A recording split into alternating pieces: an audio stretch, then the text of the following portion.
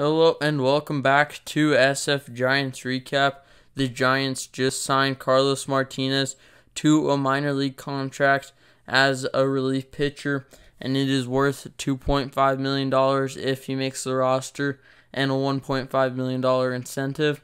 And so I think this is a good pickup for the Giants. A small minor league contract that's not going to hurt you in uh, the salary cap or anything like that or going blockbuster.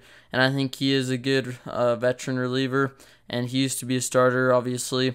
And so now he's going to transfer to a reliever. And I think this will be good for the Giants to have him in their minor league system. And so if they ever need a reliever, they can call him up. And I think that he could probably make the uh, 40 man or the active, depending on how he performs and how he looks during spring training and throughout the season. And so I think this is a nice pickup. This video is not going to be very long. Just want to update. I've signed Carlos Martinez and added him to their minor league roster. And so we'll see what happens. If you did enjoy the video, make sure to subscribe and like. And I'll see you next time for a new SF Giants Recap video.